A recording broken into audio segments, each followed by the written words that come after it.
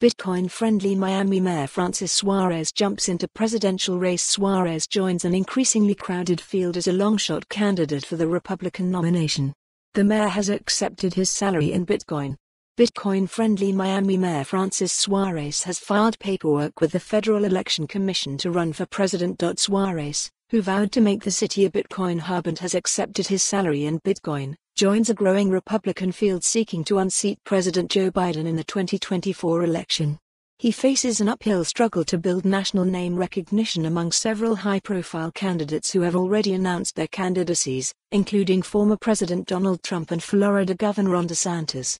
Miami has elected Suarez twice. During the coronavirus pandemic, Miami, also called Magic City, drew an exodus of tech workers from Silicon Valley and New York. Several crypto firms relocated there permanently. Suarez, who touted Bitcoin's democratizing impact on the future of wealth for every American in a 2021 interview with Coindesk, has examined ways to accept taxes and pay municipal employees in the currency. He also announced Miami Coin, MIA, built on the Bitcoin adjacent blockchain, Stacks, which he hoped could someday pay a recurring BTC stimulus to Miami citizens.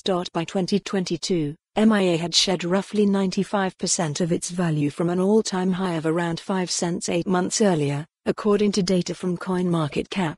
In March, crypto exchange OKCoin suspended the trading of MIA and a second city coin, Nacoin, citing limited liquidity as the reason for follow the URL for the full article for more on this story, visit the news article link.